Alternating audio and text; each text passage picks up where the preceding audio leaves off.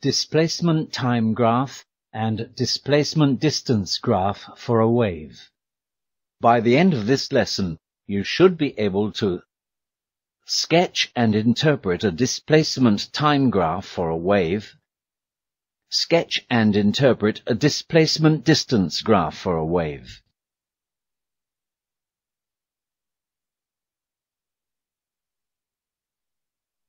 Click and displace particle A sideways. Observe the motion of the particle upon release.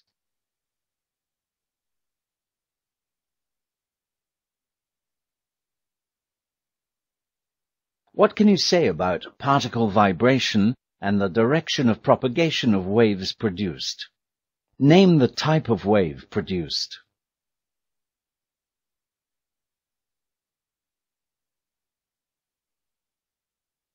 When particle A is released horizontally, vibration of particle is parallel to the direction of propagation of the wave. This is called a longitudinal wave.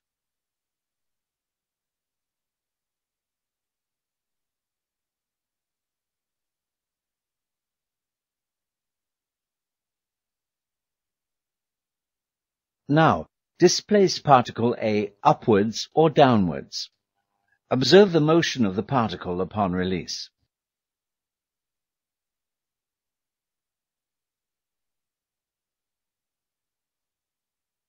What can you say about the vibrations of the particle and the direction of propagation of the wave produced? Name the type of wave produced.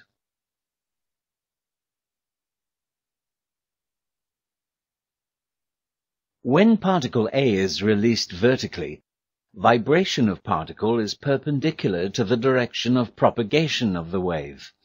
This is called a transverse wave. The wave motions can be represented by displacement time and displacement distance graphs. Do you know what these graphs look like?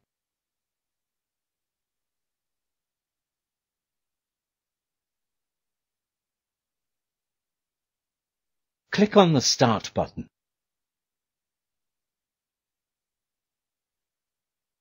The motion of an oscillating spring can be plotted on a displacement against time graph. This results in a sinusoidal graph as shown. O is called the equilibrium position.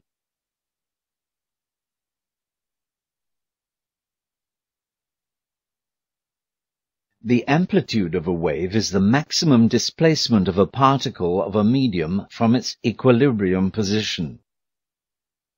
The amplitude of a wave is measured in centimeters or meters.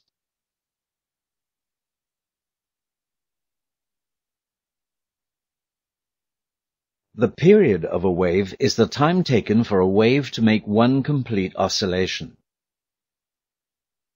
The period of a wave is the time measured from one crest to the next crest, from one trough to the next trough, or any other two consecutive points on the graph which are in phase. The period of a wave is measured in seconds.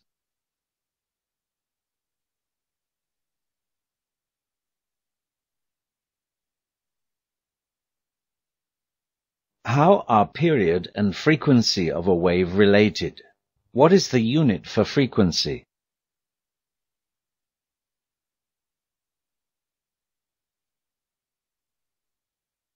The frequency of a wave is to the reciprocal of the period. Frequency is measured in hertz or per second.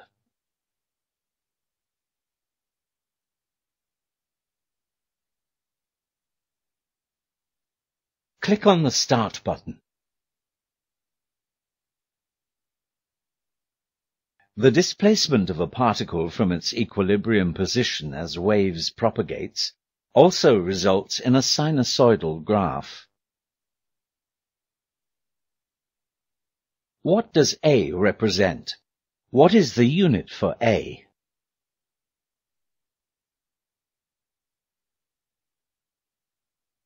A represents the amplitude of a wave which is the maximum displacement of a particle in a medium from its equilibrium position.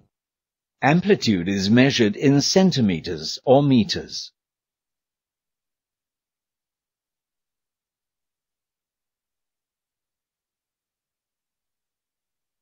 The wavelength, lambda, is defined as the distance between two consecutive points that are in phase.